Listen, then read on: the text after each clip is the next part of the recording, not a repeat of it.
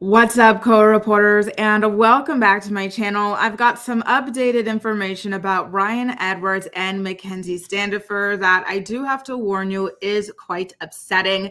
The other day, I ran a video about um, Mackenzie Standifer filing a police report against Ryan Edwards. Ryan had texted her out of the blue saying that he wanted to come by around 8 p.m. to pick up some kind of stupid computer cable from the home that he had destroyed about a year ago.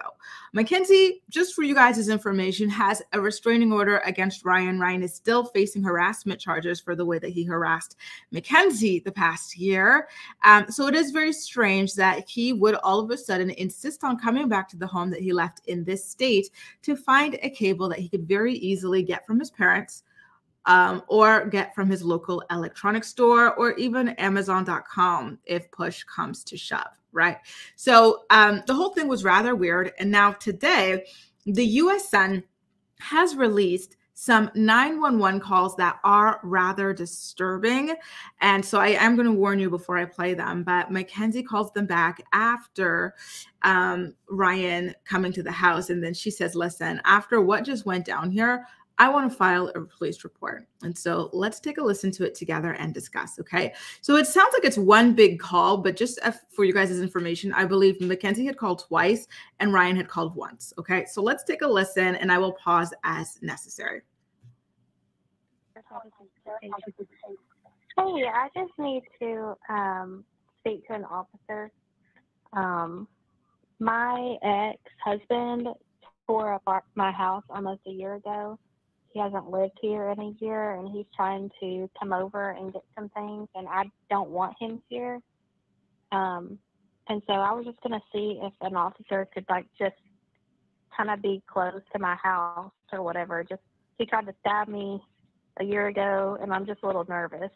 So there you go. We had heard um, that in the past, Mackenzie had claimed that Ryan uh, got on top of her in their marital bed and put a K N I F E to her throat, and um, he he wasn't like he wasn't actively trying to do anything in this one instance that she had described, but she said that he was basically saying, I could do this if I wanted to, like act right, sort of a thing. So I'm wondering if this now, you know, situation is a whole other thing, in which case it's quite terrifying that this man allegedly brandished a knife of sorts around Mackenzie on multiple occasions now, allegedly, of course, right? That really, really is shocking. And again, like I always say, anybody in Tennessee, you need to, or especially in their jurisdiction, you need to do your best to to figure out what to do to get the judge overlooking this case disciplined. Mackenzie herself and her family need to look into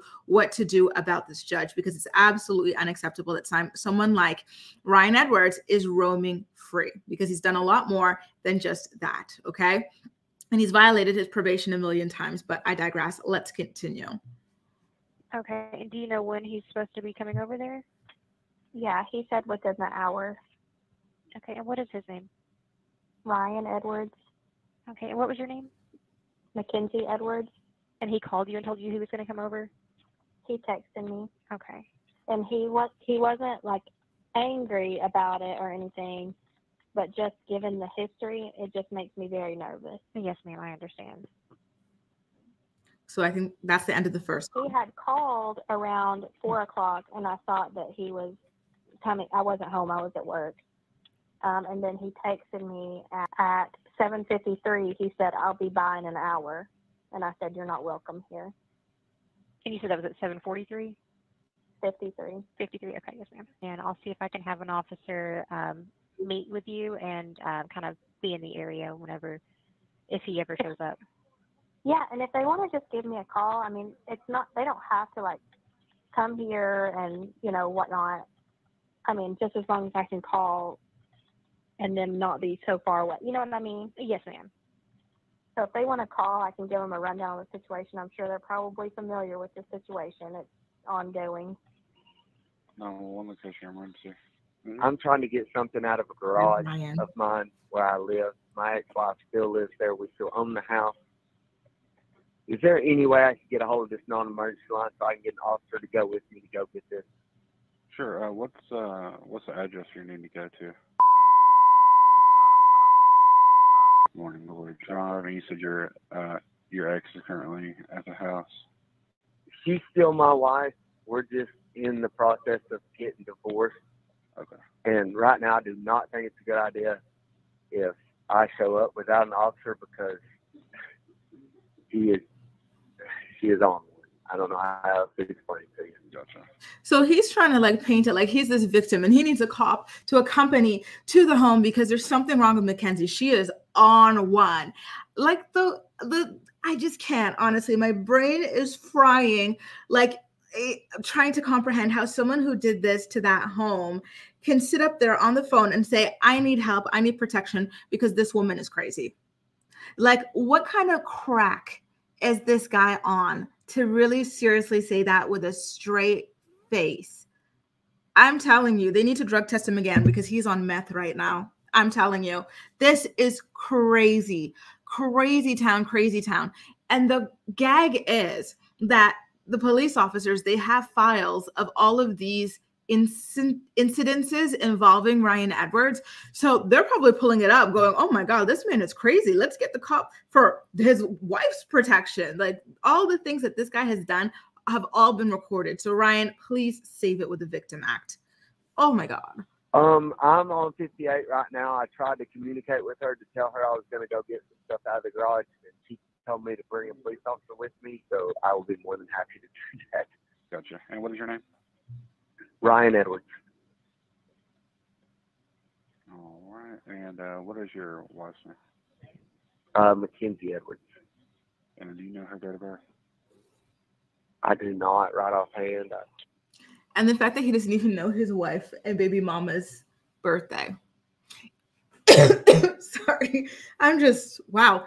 It's so on brand for Ryan. It really, really is. How do you not know that, Ryan? Like, oh my God. I bet you he doesn't even know his kids' birthdays either. And this is crazy.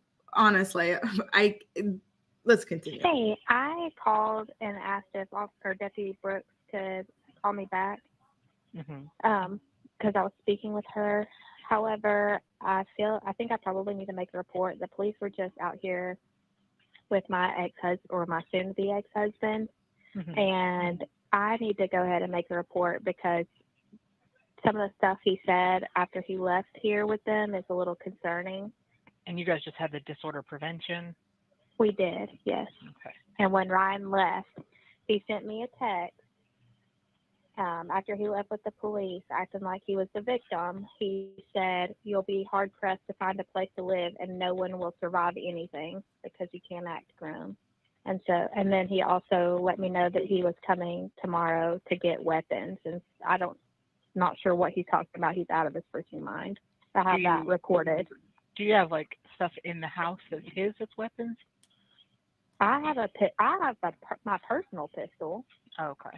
but I don't have any weapons that are his. And whatever weapons that are owned by us, like in our marital property over the last eight years, are Mhm. weapons that I have purchased that he, I don't know what he has done with. So Okay. And what did you say? So that is quite concerning to hear that Ryan is currently in possession of some weapons that they had purchased as a couple. Um, and she doesn't know what he's done with them, but he's over here claiming that he's got more that he needs to get from the house, knowing that that's not the case. She only has her own personal um, protection there. I find that to be rather alarming to be honest with you the, again like i said in my initial video um, when the news broke yesterday I don't think Ryan really wanted to go leave it. This is a lazy man. This is one of the laziest men we've seen on the show, right? He did not want to leave his house to go there to go, look around for a damn cable that he could just go ahead and buy for five to ten dollars. No, I think he did that as an intimidation tactic to let Mackenzie know that he is looking for trouble with her again. And so we all heard that text message that he alleged, allegedly sent to her afterwards, in which he says that nobody is going to survive you know, in that household, this is it. Now he's talking about, oh, I need to come back for weapons. You know, who's to say that he's not going to pull up with his own weapons that he already has because Mackenzie says she doesn't know what he's done with them. So they were with him probably in his new place. Who's to say he's not going to show up and say, look, found it and rain and make it rain. You know what I mean? Like all of this stuff is very concerning. I'm worried that the their city is running out of time to protect Mackenzie and these kids. All of this is escalating to a very, very scary and very alarming place. We heard Mackenzie say earlier in the recording that Ryan had tried to STAB her in the past. Like, guys, something needs to be done here. This is scary. They're really running out of time. I'm I'm serious. So your name was? Mackenzie Edwards. Okay. And then your husband has the kids at this time? His mother does. He does not have he does not even see them. So there you go. Now come to find out Ryan doesn't even see his own kids is anyone really even surprised by that? I wasn't joking when I said he probably doesn't even know their birthdays. Why don't I add on to see to it and say he probably doesn't even know their middle names? Do they have middle names? Because if they do, he does not know them. He probably doesn't even know their last names. This guy, he's just so on another planet. This whole thing is just ridiculous, and a stop needs to be put to it. If he is not called back into court for violating his probation yet again, um, in the form of these text messages, because now Mackenzie has made it a criminal matter, a criminal complaint, then there is something seriously long, wrong with the justice system in that town uh, that needs to be examined. Oh my goodness. Listen, hang in there, Mackenzie. This is not looking good, but um, she was so right to call the police and demand that Ryan come over with a police escort. Like she's been handling this like a pro. She was super calm on the phone call and everything like that. So on her end, she is handling everything the best way possible. It's just we need for Ryan to just be sent back to jail or prison or whatever where he belongs so that she doesn't have to tolerate this anymore and that the threat doesn't hang over her head and or over her children's head either. You know, I really really do hope that this counts as a violation of his probation. Mackenzie, go ahead up and call up his probation officer. Like do everything you can to send him back. Ryan Edwards does not belong in the free world, in my opinion, until he knows how to handle himself, or as he says, how to behave as an adult or grow up or whatever it is that he told that woman. Anyway, you guys, that that's all I've got so far on this story. As usual, I will be following it and providing updates as they come along. But for now, how does it feel to actually hear what it is that she had to say? Because we heard a report about it, but now the official 911 calls have leaked. Now we've got new information, such as she claimed that Ryan tried to STAB her. Um, and now we're also finding out that this man doesn't even spend time with these kids. Like it's only his parents that she shares custody with there's a lot to digest. And of course, I do want to hear everything that you've got to say. So please do make sure to leave all of your thoughts in the comment section down below. And as usual, we'll chat. That's all for now. Thank you so much for watching, and I'll see you next time. Bye.